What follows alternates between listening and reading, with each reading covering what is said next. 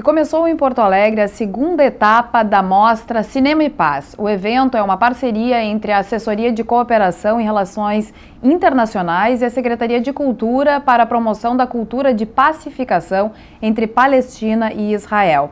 Para saber mais sobre esta mostra, eu converso agora com Espartaco Dutra, que é assessor de Relações internacionais do governo do estado. Bom dia, seja bem-vindo, Espartaco. Bom dia. Espartaco, essa é a segunda vez que o estado então recebe a mostra Cinema e Paz. No que, que consiste esta iniciativa do governo gaúcho? Essa iniciativa partiu de uma ideia do centro do governo gaúcho de uh, fazer um espaço de debate e discussão sobre uma possível paz entre israelenses e palestinos. Na verdade, nós temos as nossas comunidades aqui que vivem eh, em relativa harmonia no Rio Grande do Sul, e, mas nós temos, como sabemos, um conflito é, entre Israel e Palestina lá.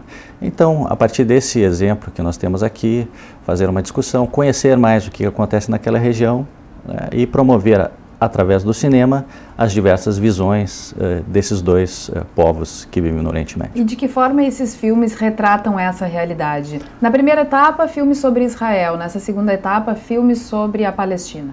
Exatamente. Então, na primeira etapa, nós convidamos o diretor Amos Gitai, né, que é um diretor conhecido de Israel, uhum. que esteve aqui, mostrou alguns filmes de Israel, e agora nessa segunda etapa estamos com um diretor uh, palestino, que radicado uh, na Alemanha, que se chama Kamal Al-Jafari. Uh, ele tem por hábito fazer documentários né, e trabalha muito na, na faixa de Gaza, enfim, nos territórios ocupados da Palestina. Então mostra essa realidade através de documentários que tem a sua parte também fictiva. É um, é um diretor muito autoral. Nós estamos mostrando algumas imagens dos filmes, ó, enquanto tu falas. Sim, ele principalmente se retratou um pouco na família dele, que ficou nesses territórios palestinos, que mais tarde foram ocupados pelos israelenses. E a partir dessa realidade, ele uhum. criou ficções em cima disso, mas sempre uh, chamando um pouco a reflexão né, de como é que aconteceram as situações, o porquê que aconteceram, ou chamando o público a interagir com esses, esses filmes. Né. Paralelamente ao diretor, nós também trouxemos uh, uma uh, produtora de filmes, que, o que é difícil em território palestino, uh, você ter tanto diretores cinematográficos como produtores, né, porque vive um estado em que eles não têm muita mobilidade né, dentro do próprio país, então, a maioria deles sai do país para poder uh, produzir fora né, o que tem dentro, na verdade. Assim.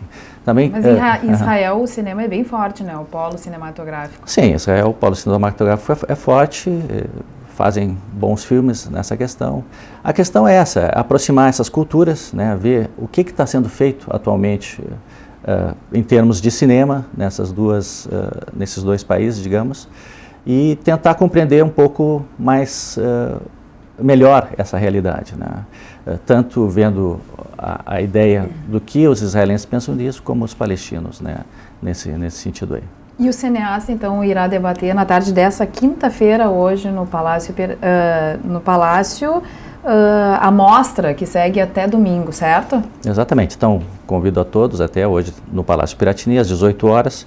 Nós vamos ter um, um debate com o cineasta, o governador Tasso Genro também vai, vai estar presente, e algumas pessoas do, do, do, espectro cultural aqui da cidade.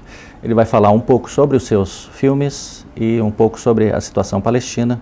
Eu acho que é uma grande oportunidade. Nós temos também a mostra uh, na Casa de Cultura Mário Quintana, todos os dias às 19h30 uh, estão passando os filmes e amanhã vai haver uma sessão comentada sobre um filme do Al Jafari.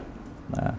Uh, então estão todos convidados aí sempre às 19h30 para aparecer aí na Casa de Cultura Até domingo isso? Até domingo. Até domingo. Até então domingo. o cinema vem então para contribuir nessa nessa formação de ideias, enfim, nessa discussão do que, que acontece lá entre Israel e Palestina. É, exatamente, porque você tem uma situação aqui que nós dizemos é uma situação harmônica, né? Mas é diferente da situação no local. Exatamente, a gente não sabe qual é a realidade realmente que acontece é, lá. Realmente né? o que está acontecendo é um conflito, uh, se tenta há muito tempo uh, encontrar meios de, de resolver isso, mas nunca se chega a um consenso. Né? E esses então, filmes, eles são exibidos lá também? Esses filmes também são exibidos lá. É mais difícil para os palestinos exibir pois isso, é, isso porque os filmes têm que entrar na Palestina para serem exibidos. Né? E isso é possível? É possível, de alguns modos é possível, mas uh, é sempre difícil. Então, um filme que você faz hoje no exterior sobre a Palestina, acho que vai ser apresentado um tempo depois. Né? Então, uh, tem, tem vários problemas de circulação de cidadãos palestinos dentro do território ali entre Israel e Palestina. Então, isso também é uma, uma questão que vai ser mostrada, né?